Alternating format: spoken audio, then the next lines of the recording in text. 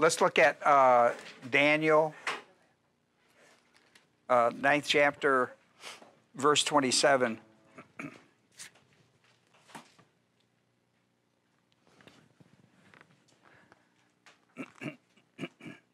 we're looking after we're looking for the 70th 70th week. He will make a firm covenant, talking about the Antichrist, will make a firm covenant with many for one week. That's, that's going to be the week of tribulation. That's a seven year program. But in the middle of the week, that's three, three and a half years on the front side, then the middle, and then the back side of three and a half. Uh, he, the Antichrist, will put a stop to sacrifice, grain offering, and on the wing of abomination, which in the New Testament they're going to call it abomination of desolation, will come one who makes desolation even until a complete destruction, one that is decreed, is uh, one that is decreed, is poured out on the one who makes desolation. That's the second coming of Christ that will come and do the Antichrist in. Okay? So, what we're talking about is this uh, one week out of Daniel. You know, out of the 70 weeks, he, he goes 7, 62, and 1, right? To get to the 70. And, and what he's actually talking about is years, and we've gone now. I, I forget what study this is, but we're, we're deep into Daniel right now. Uh, I don't remember how many we've done, but um, that we're looking at this one week, and uh, Revelation, the book of Revelation, shows you three divine judgments. Now, here's what people miss sometimes these are three divine judgments upon the world. Okay, not ju- it's, they're not local, they're, they're universal. And that's, that's, that's, you want to remember that because most, most of the natural catastrophes we see, like locally, Texas gets hit, and that's a big local thing. And then Florida gets hit, that's a big, lo- and even though there, there's a lot of devastation in it, it's minute compared to what the tribulation is. When he throws down something, a natural catastrophe that comes in the tribulation, will be like that worldwide. Okay? So that's a good thing to remember because we're going to talk about three divine judgments in that one seven year period. And he says that the judgments that are going to come, there has never been anything like it ever. I mean, there's no way to even compare. And so there's the seven seals, the seven trumpets, and the seven bowls over that seven seven year period. And oh, I, um, I actually there was a moment when I actually thought I could teach the three of them at one time. I could actually go through one hour. John Dyer looked at it and said, I don't think you should even try that. I think he might have been right. So, um, so I'm going to take them three, three separate and take a good look at them, uh, even though the church won't be there. Now, I hear this. Let, let me have uh, my engine starting to race.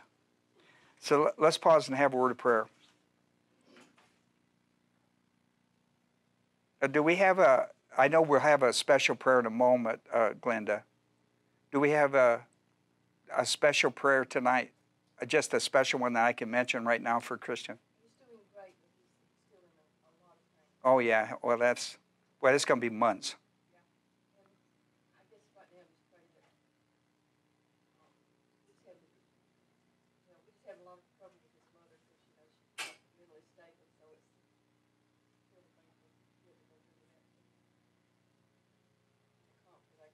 Well, at some point, they, we, we can talk. Let's pray. I give, I give you this moment of silence as a believer priest indwelt by the Holy Spirit, the privilege to confess sin if necessary. It is necessary if, if you understand the Bible is a spiritual book for spiritual people, for spiritual living, which means spiritual means you've got to be indwelt by the Spirit. That's salvation. You've got to be filled with the Spirit. That's that's Bible study. You can't study it carnal. Carnal would be the evidence of personal sin. It could be mental attitude sins, sins of the tongue, or overt sins. They need to be confessed before study so the Holy Spirit can teach you the truth of the Word of God. 1 John 1 9 says, Confess your sins. He's faithful and just to forgive you and cleanse you. This is a sanctification aspect of the ministry of the Holy Spirit. Puts you back into a position where the Holy Spirit can teach you because you're open to that now, to have Him teach you the truth of the Word of God. It is truth exercised in your soul that sets you free from the cosmic system of lies. Father, we're thankful tonight for these who have come our way both by the automobile and internet. We pray, Father, for those who are home listening in uh, with us tonight, that they would have uh, classroom etiquette, they need to concentrate and be quiet and be still and let the Holy Spirit teach them truth. They need to cut off cell phones and distractions and television, all those things, put themselves in a place where they can isolate themselves and hear the small voice as it's declared, which is the ministry of the Spirit in the believer's life, teaching them and bringing things to, to their memory that are important for them to exercise the word that's being taught. we pray for these things tonight, Father, in Jesus' name. Amen. Let me tell you how simple this thing is about the church doesn't go through. I hear this over the years, uh, you know, people go like, well, I think the church is going to go through the tribulation, all this kind of, okay? I wrote it on your paper. It is important to understand the church will not go through tribulation. It will not go through the tribulation because Jesus would have to bring judgment upon himself as the church. He is the church, the Savior of the body and the head of it. There's no way he could do that and bring judgment. I mean, there's no way that can be. no way. So it's important. For example, 1 Corinthians 12 12. For even as the body is one and yet has many members, and all the members of the body, though they are many, are one body, so also is Christ. There's no way he's going to bring divine judgment, I mean, upon himself. That deal's already been done. Or 1 Corinthians 12 27, you, referring to church age believers, are Christ's body, individual members of it. That's the reason. That's, that's the most simple, logical answer to that, in my opinion. There's no way that can happen. so, you know, so let's let's understand the church will not go through the tribulation. When I talk about the seven seals, the seven trumpets, and the seven bowls, we will not go through that. Okay. Ron, why would he beat up the bride before he married? Well, I know. Well, not as God. Uh, uh, man, it's just not. It, it doesn't make any sense. So. Today we'll study the first divine judgment of the tribulation. It's called the seven seals. and we will show how this judgment of seven seals will affect the world. Okay? That's, that's the goal we're after. So let's turn in our Bibles to the book of Revelation. We're looking at the sixth chapter. The seven seals are going to go through chapter six up to eight, five. Okay, so we're gonna we're just gonna take a look at some of this stuff as we go through it. And what you're going to see, like most divine judgments, as they the further they go on, the more intense they get. Right? I mean, it's true in our life too. When we get under divine discipline, he starts out light, then he then he he, he so uh, we the five cycles of divine discipline to the nation of Israel does the same thing. So there's a pattern here that we we ought to be familiar with. So when we get the seals, although they're going to be tough, they're going to be tough. Um, it, it, when the trumpets blow, and then when the bowls come, I mean it's going to be lights out. So so I mean this we're, we're into that aspect of it. If you have a study Bible, um, you will see one of the most important things when you, when you open the sixth chapter up. Um, it says, "And I and I saw when the Lamb broke one of the seven seals, and I heard one of the four living creatures saying, uh, as with a voice of thunder, Come. That's a really important thing on the seals. So I want you to pay attention to that. The word come. And I looked, and behold, a white horse. Now, that's not the white horse of Revelation now, of set 19. This is not the Lord, this is the Antichrist. the white horse, and he sat on it had a bow, uh, like a bow and arrow, and a, a war weapon, and a crown was given to him, and he went out conquering and to conquer. Okay? Um, then um, that if you if you um, go back to the fifth chapter, verse 12, to find out who this lamb is, of course, you're, you're aware that we're talking about the Lamb of God. But in verse 12, we're told who that lamb is that's going to open the seal. In verse 12, worthy is the lamb that was slain to receive power and riches and wisdom and might and honor, glory, blessings. Uh, and of course, that is the, the Lamb of God, the Lord Jesus Christ. Okay? so he's going to, and listen, here's what he's going to do. He's going to open all seven seals. He's going to, he's going to kick this thing off. He's going to open all seven seals. He's not going to do this again. This is, but he, he's, he kicks this thing off. He opens the first seal, the second seal, third seal, and so, so forth. You'll, you'll see that. You'll see that he broke he breaks the second seal in verse three. He breaks the the the third seal in verse five, and so so on. If you have a study Bible, they probably broke all the seals down for you, right? if you have a study Bible. So the Lamb of God in in uh, chapter six, verse one, uh, is, uh, uh and often you will hear. Notice that the first four seals are horses, right? we have the white horse, the red horse, the black horse, and the pale horse, this, or what the Greeks call the sick horse. And um, you'll hear people refer to the apocalypse four horsemen. This, this, the tribulation is often referred to as the, the apocalypse tribulation. Mm-hmm. So, just so you would know. Well, the white horse is the dictator of the revived Roman Empire known to most of us as the Antichrist, and and um, he, he he is identified as one who is who is coming to uh, in, in conquest, right? Conquest. um, remember that the seals are during the first three and a half years of the tribulation. I mention that because most people think of this as a time of peace. It really isn't, as we will see, but there's a lot of talk about it, kind of like in the Middle East. Every president that we have goes to the Middle East and talks about peace between Israel and Arabs, which means they don't, nobody's t- telling them the truth about the Word of God, are they?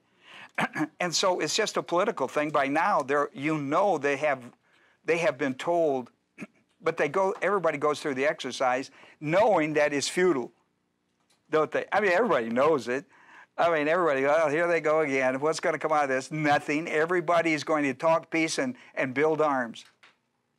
No, but I mean, all three people, America, uh, Israel, and the Arab nations, are all going to go talk peace and then build their armies. uh, of course, we're smart enough to know this. Even if they declared it, it would be bogus. Right? It wouldn't last an hour.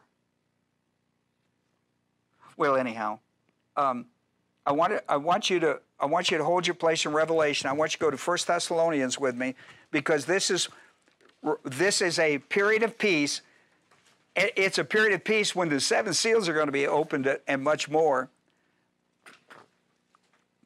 But things are really going to heat up in the middle of the trib uh, if I can ever find Thessalonians. Uh, else? Yeah, you got that right. Uh, first, I'm looking at the first, the book one, five three. Book one, five three. I should have typed this out. It'd been easier for all of us, but one, five. I keep going to the second chapter. Five, three. You've heard this preached probably, and this is the context for it. While they were saying peace and safety, then destruction will come upon them suddenly like birth pains upon a woman with child, and they shall not escape. Right? In other words, everybody's going to talk in peace and safety during that three year peace, and everybody's going to build their arms. Everybody. and uh, because somebody is in the know out there that the tribulational period is coming. And so, but anyhow, um, this while this is a period where everybody's talking peace, it certainly not. And God is going to drop the seals on them during this period. He's going to drop the seals on them. seals by judgments, not a whole bunch of animals. Okay? So 1 Thessalonians 5 3, that's a discussion about the, the, the attitude and the media and all that that all the news that's being produced out there is all about peace and safety when it's really about when everybody's building up to go to war. We've the guy that's out there running this whole peace for safety program uh, is the dictator of the revived Roman Empire who is really building an army because his purpose is to co- conquer, is conquest. And uh, he'll, he'll be that guy.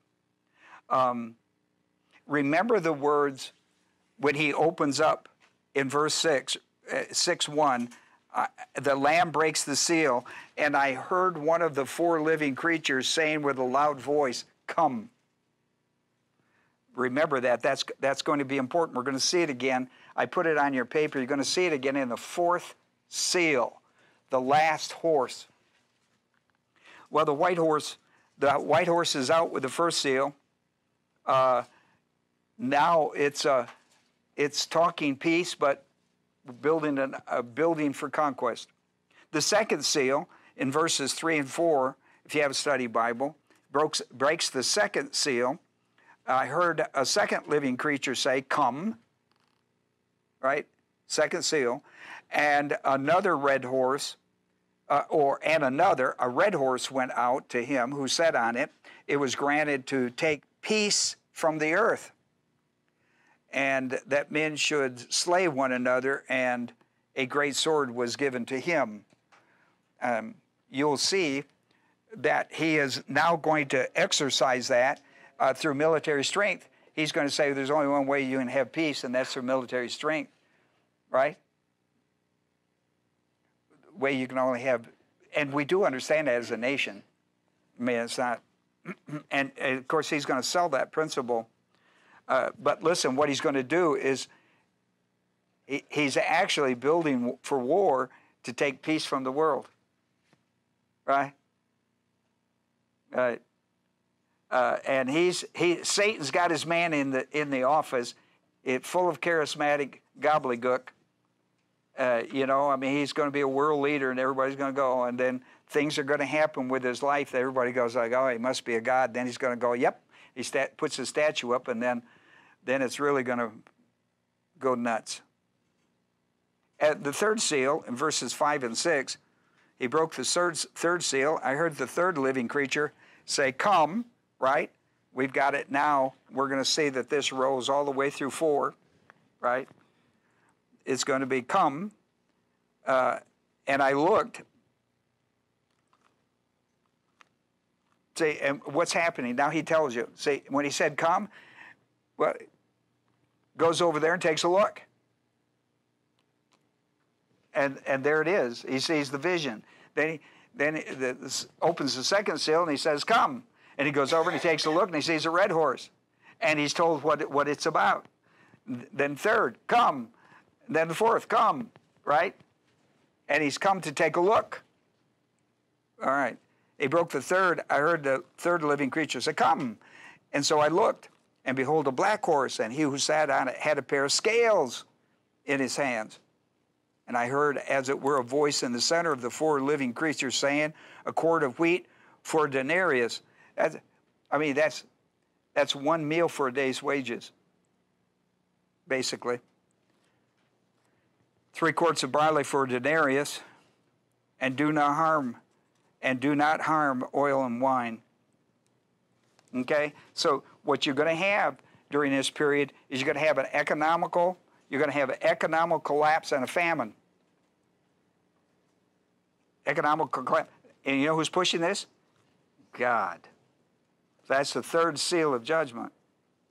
And and the key is there's a pale, you know, there's a scale, you know, uh, an economical way to measure things. You know, Dow Jones or whatever.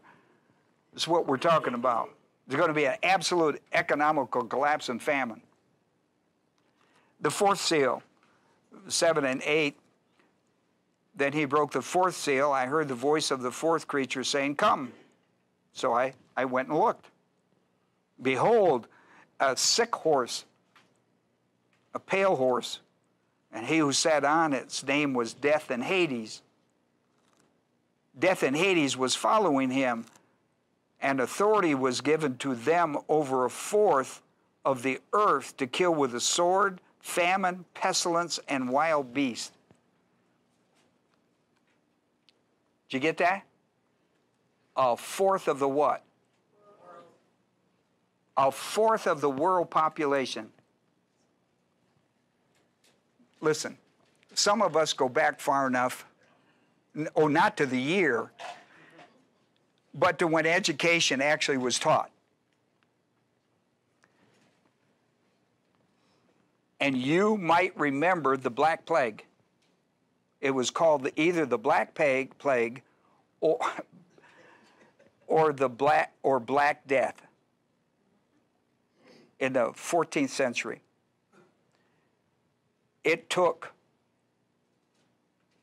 a fourth, a fourth of Europe died, and maybe more. They're, they safely say uh, 25%. But they really believe it was probably closer to 50.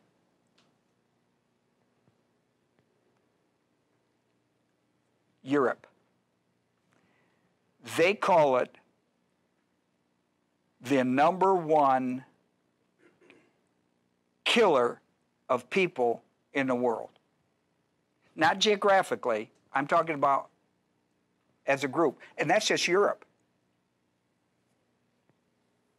Can you imagine if that's the worst and it just affected Europe, you know, just a handful of nations, what it will be like when a fourth of the world dies this way? And, look how they'll die. a fourth of the earth. They will die by the sword, by famine, by pestilence, and wild beast. Now you can, you can take that to the bank, buddy. That's that that's that's that's going to happen. A fourth of the earth. I thought I would go on the internet, take a look, and see if anybody had anything near anything other I just was curious to see if, I, if my teachers were right about the Black Plague. And uh, certainly that was listed. and all the other ones are all local, you know, an earthquake here and a flood here and this and that. Do you know what they never mentioned in all of my exploration? I couldn't find it. Of course, I'm not a genius on the, on the internet by any means. But there is one that will stand in comparison with this, what would that be? There is one that's going to stand in comparison to what the tribulation is going to bring about. Mm. Noah's Ark. Oh yeah. Oh yeah, yeah, yeah. Flood. Yeah, the flood. Took them all out but eight. Yeah, nobody, nobody, but nobody mentions it. Do you know that record is more reliable as far as history? Is something that's been passed down historically than any other record they have on date? And nobody mentions that? That's amazing to me. You know why? Because it's found in the Bible. They don't mind talking about every other book in the whole wide world, but this is the one book that's been around the longest and quoted the most. They don't even mention it. How pitiful. No, pitiful. Well, anyhow, you know why that's important to us in this, this study? Because of Matthew 24 37, which is not on your paper, I don't think. You know why that's important? Because listen to this prior to the second coming of Christ, as it was in the days of Noah, so shall it be in the days of the Son of Man. You know why that? You know why why that's equivalent? So let's be sure we know that there's one bigger than the Black Plague and that's equal with what's going to happen at the second coming of Christ. Right? I mean, the good book, the good book is going to tell us. The fifth seal. The fifth seal, the horses are done. They're all out in the pasture now. And the fifth seal is martyrdom. Look at 9, the fifth seal. Your Bible probably says martyrs, right? It's got a study Bible. When he broke the fifth seal, I saw underneath the altar the souls of those who had been slain. Watch this. Watch these two because. Slain because of the word of God and because of the testimony, which is the gospel, because of the testimony which they had maintained.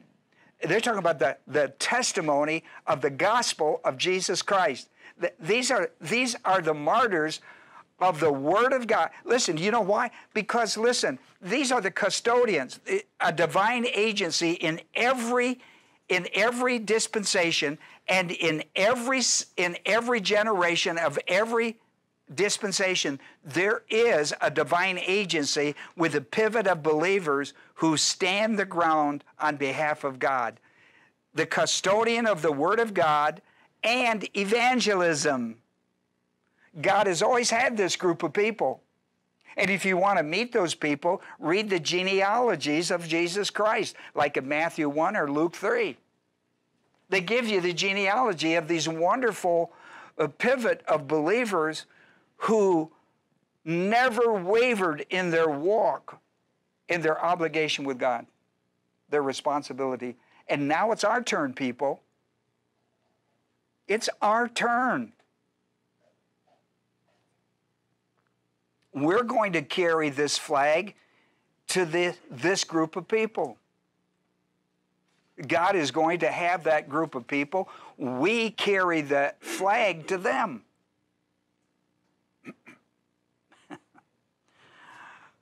well, I hope we understand that response. Listen, the listen, two things: the Word of God and the gospel of Jesus Christ.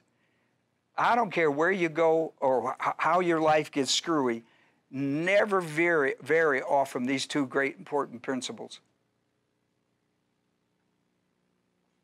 That's who we are. Born again. And listen, it's not the majority that carry the flag from one generation to the next. It's always the pivot of people who do not waver. You can't buy me. You cannot buy me. You cannot buy. I tell you, a young pastor, that's one of the first things he's got to get in his soul that he cannot be bought. Because let me tell you, the church will buy you out of the Word of God evangelism in a heartbeat. They will offer you money. They'll offer you a bigger church and a bigger this and a bigger that. And then when you get there, they won't let you do what God has called you to do.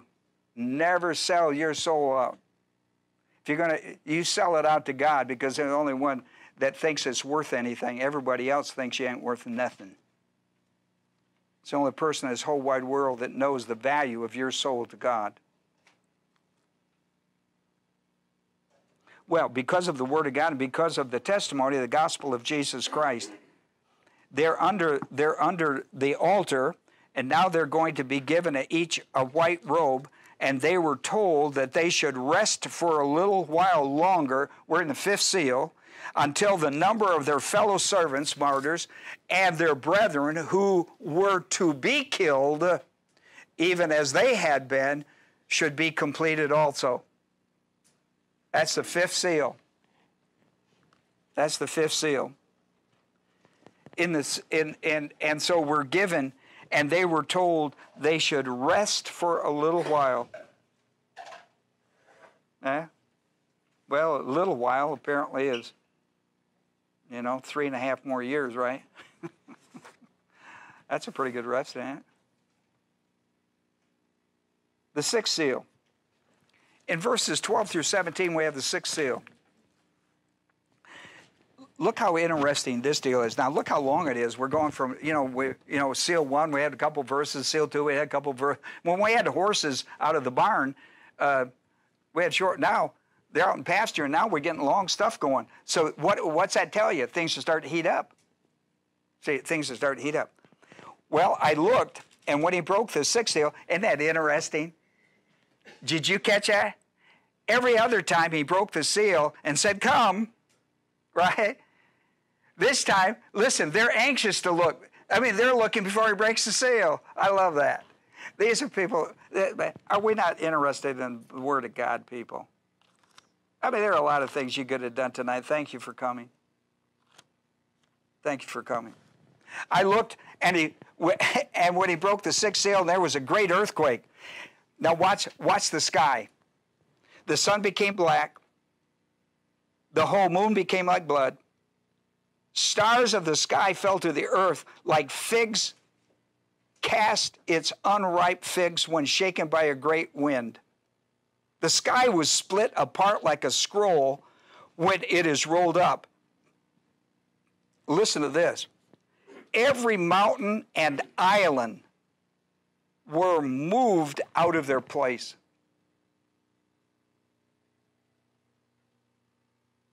Every mountain and island on the earth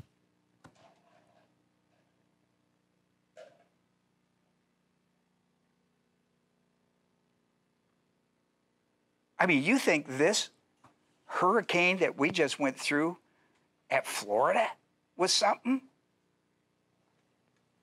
Holy catfish. Wow. It is going to be so bad that the kings, listen, we're still in the first three and a half years. this is that period of peace that they talk about. And God's revving it up and the kings of the earth, and the great men, and the commanders of the rich and the strong, every slave and free man. You know what that? Every social class there is on the face of the earth. Every social class on the face of the earth hid themselves in the caves and among the rocks of the mountains. And they cried to the mountains and to the rocks to fall on them and to hide us from the presence of him who sits on the throne from the wrath of the Lamb.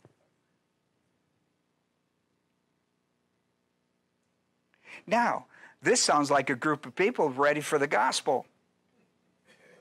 Right? And they're going to get it. They, you've, I mean, are they primed? I mean, I mean, eh, I want the lamb, but I don't want the raft, right? Yes, what you think? Wrong. Isn't that tragic? God, but listen, God's still going to send them the evangelist. You know what they're going to do with them? this is what they've been doing. What did they do with the fifth seal? You know why God keeps sending, sending people?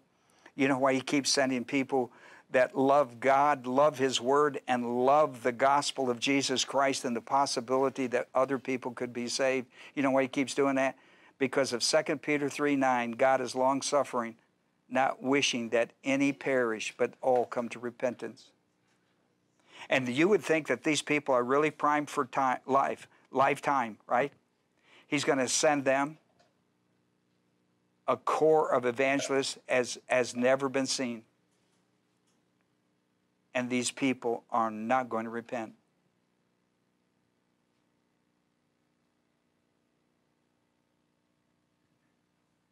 That sad? You think that the lamb is not a big deal?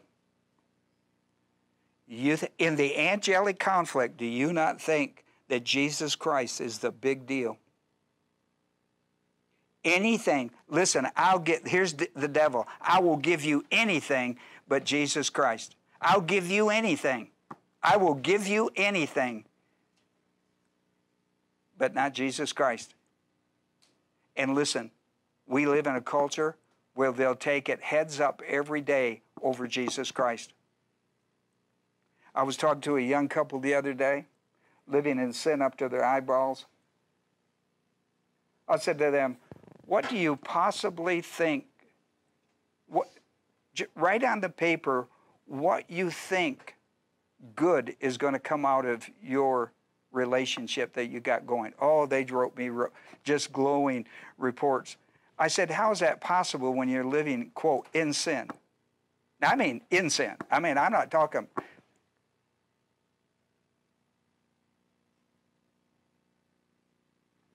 I said, of course, nobody understands the laws of Alabama. I said, you know, you may not want you may not want to think about marriage, but I tell you, you already are in the state of Alabama.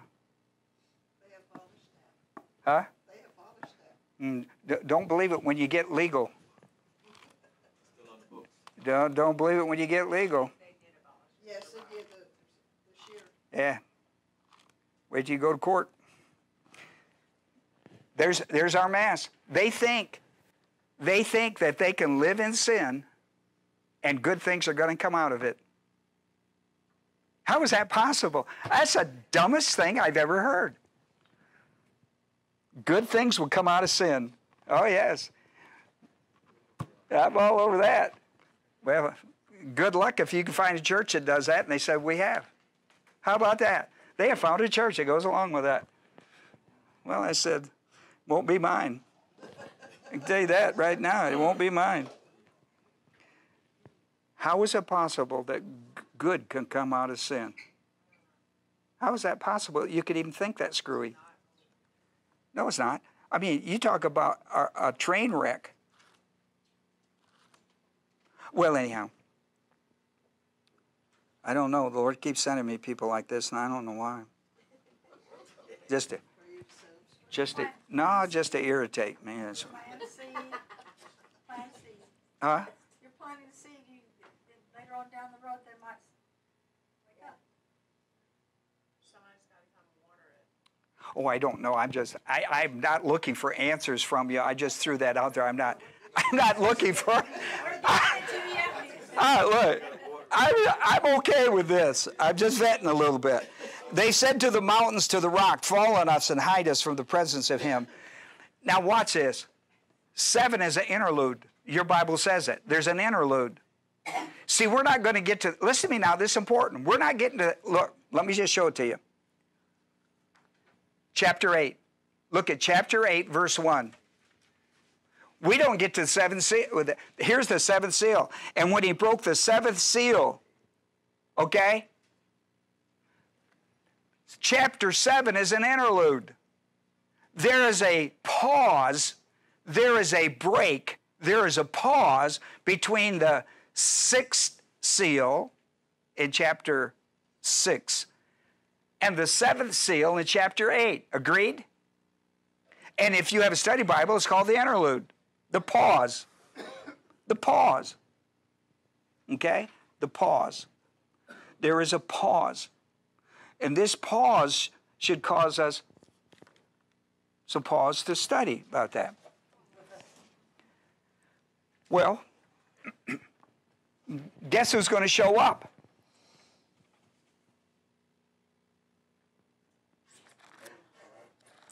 Verse 4 And I heard the number of those who were sealed 144,000 sealed from every tribe of sons of Israel. Our 144 evangelists have, have shown up and have gone through training. Isn't that interesting? Now, when you study the tribes, here's what you're going to miss. You say there's 12 tribes and there's 12,000 from every tribe, right? But, and there are 12 tribes and there's 12,000 from every tribe, but the tribes are different. These are not these are not the normal listing of the tribe. For example, the tribe of Dan is not mentioned. First time he's not ever discussed. Tribe of Dan is out. Also, the tribe of Ephraim out. Neither one of those two tribes are listed. If you go through that list, you won't find them. What you will find in their place is Manasseh, you know, Ephraim and Manasseh out of Joseph. Manasseh stays, Ephraim goes. Dan goes, but Joseph stays. Joseph is there. Now, Joseph was taken out and the two sons were put in, right? Remember, we went through that whole deal? These are the 12 tribes. The 144,000, there's the, there's, a, and you go like, well, whoa, whoa, why would Dan and Ephraim be out? Because of their idolatrous practice as nations. That's why. The two, two, the two of them. Well, that interlude, and it gives a listing of all the people. And they cried out with a loud voice let's see let's go let's go to verse 9 because we got the 44 after these things i looked and behold a great multitude which no one could count from every nation every tribe every people every language standing before the throne before the lamb clothed in white robes, palm branches were in their hands, and they cried out with a loud voice, saying, Salvation to our God who sits on the throne and to the Lamb. And all the angels were standing around the throne and around the elders and the four living creatures, and they fell on their faces before the throne and worshiped God. Look at that verse 12. Verse 12, this is my verse because of my Sunday preaching. You know what this begins with? Amen. That's that truly, truly I say to you. Remember that? Now watch. There's an amen at the beginning and there's an amen at the end. All right. Just wanted to show you that go, come to church on Sunday. Amen. Blessings. Watch the seventh thing. Watch seven things. Now, what are they doing? They're praising. All right. Amen. Okay? You know what that means? Here's what it means. It, and it shall be so. You know what the last amen means? So let it be so. And we have an interlude. We're about to come to the seventh, the seventh seal, and buddy, it's going to break open. Okay? And we're going to go from the seven seals, we're going to go to the seven trumpets, we're going from the seven trumpets into the seven bowls. You understand the judgments? Uh-huh. Amen. Blessings. Watch the seven things. Blessings, glory, wisdom, thanksgiving, honor, and power and might be to our God forever and ever. Amen. Boy, is that something. You want to know what you want to know how you're going to how you're going to talk in heaven? Well, take a peek. And one of the elders answered and said, saying to me, These who are clothed in white robes, who are they, and from where have they come? I said to him, My Lord, you know? And he said to me, These are the ones who come out of great tribulation. They have washed their robes and made white in the blood of the Lamb. These are the martyrs that were under the altar earlier in 5. For this reason, they are before the throne of God, and they serve him day and night in the temple, and he who sits on the throne shall spread his tabernacle over them. They shall hunger. Watch this now. This shows you something. This shows you just how, how excited God is that we would be faithful as stewards of his word and his, and his evangelism.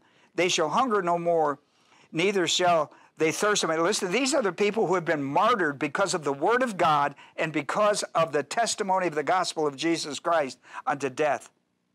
They shall hunger no more, they neither thirst any more, neither shall the sun beat down on them, nor any heat. For the Lamb in the center of the throne shall be their shepherd, and shall guide them to springs of wa- the water of life, and God shall wipe away every tear from their eye. That's that's that's pre revelation that's the pre-revelation 21 22 when he wipes away every tear from everybody's eye. Do you understand that? That's the same phrase but it's it's done early isn't it? This is the prelude between the sixth seal and the seventh seal. When the lord does that he does it to those who have been martyred for the cause of jesus christ. That is guarding the word of god and the evangelism of grace gospel of salvation I mean, this gives you the heart of God. It shows you how important this is to Him in the history of human race. That's the interlude. Verse 8, seventh seal. And when he broke the seventh seal, there was silence in heaven for half an hour of prayer. Now, it's very seldom you have any kind of hour idea connected to heaven because you're in eternity. It's, you're into some timeless space, right? It's called eternal, not time space.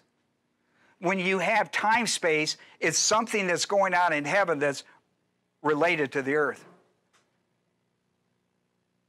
So I wonder what this, a half an hour, they pause in heaven for a half an hour of something important for the earth.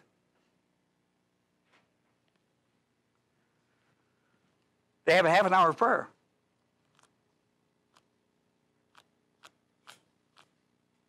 I saw the seven angels who stood before God, and seven trumpets were given to them. Another angel came and stood at the altar holding a golden censer, and such incense was given to him that he might add it to the prayers of all the saints upon the golden altar which was before the throne. And the smoke of incense with the prayers of the saints went up before God out of the angel's hand. And the angel took the censer and he filled it with the fire uh, of the altar and threw it to the earth. And there followed pierce of thunder and sounds of flash of lightning and an earthquake. And we've got the seven angels now going to engage. Listen, here's what it says. And the seven angels who had the seven trumpets prepared themselves to sound them. And now we go in. The seventh seal announces the seven trumpet judgments.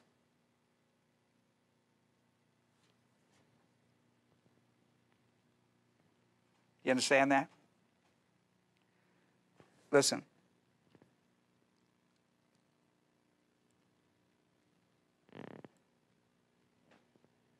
Where did that prayer take place? Where did it take place? Did it take place in heaven or on earth? It took place in heaven. On behalf of what? The earth. Can I tell you how important prayer is to God? Do you understand that? Do you, do you have any idea then get it from this passage how important your prayer time with God is. Because God's having prayer in heaven for the earth. He wants the earth to have prayer for heaven, right? Prayer is a big deal. You know, I hear people say, well, I don't know why you have to pray if, he, if, if God knows what he's going to do. Eh, eh, eh, right? Because God wants it, that's why.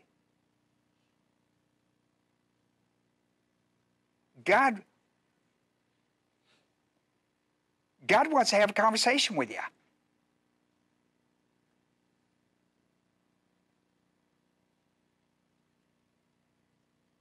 You know how lonely it would be to live with somebody who never talked to you? You know how lonely that would be? They talk to anybody else. They talk to the dog. They talk to that dog a half a day. Or anybody who would call. Never talk to you.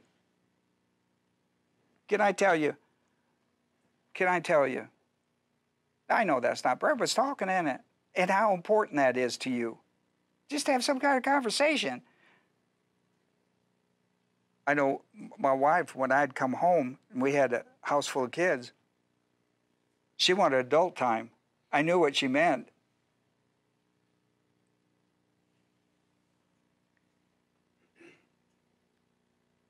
I was tired when I got home of adult time you know, all day long. I was struggling. I was slugging out with guys out there uh, in the business world, I was sick and tired of talking to adults, and I come home and she's sick and tired of talking to kids.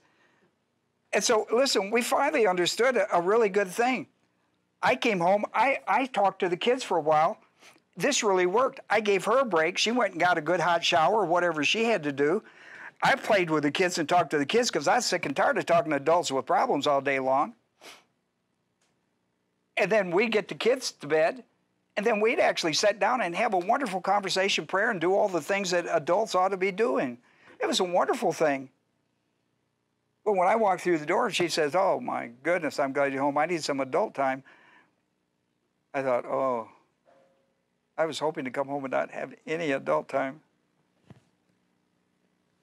Well, anyhow, the seventh seal, let me tell you, the seventh seal, there's silence in heaven for a half an hour for prayer. So that he might add it to the prayers of all the saints. Huh. Uh, who thought he was even keeping count up there? I mean, what's this adding? What's this adding? Let him add some of yours, okay, this week?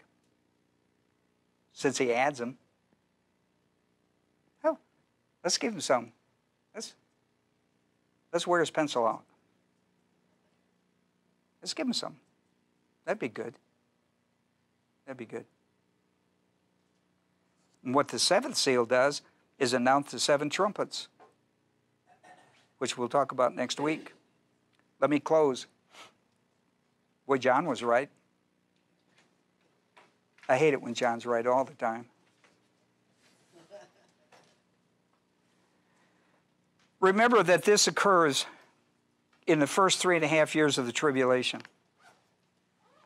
We don't normally think of the first three and a half years that are known as peace to be like this. But imagine what the next, next two are going to be like. And listen, this is going to happen just as it's spoken. It's going to happen just as sure as overripe grapes fall to the ground. Is that what he said? A little wind. Listen, that gets the ones that are almost ripe. The wind. If there's no wind, they'll drop on their own, won't they? Once again, we are reminded, listen to me, and I'm going to close. Once again, we are reminded of the grace of God that is given us who live in the church age. We are reminded of the grace of God, how, how wonderful the grace of God is that's been given to us that we live in the church age. I don't know how I wrote it on your paper, but I mean, listen, we don't go, on our worst day, we're not in the tribulation. As bad as as bad as these as, as bad as it, Texas got hit and as bad as as Florida got hit and nothing. I mean, we live listen, I believe personally that we live in the I believe we the church in the we live in the golden age. I think we we live in the golden age of the church age in America. I don't know that anybody's lived a better quality of life under the banner of, of God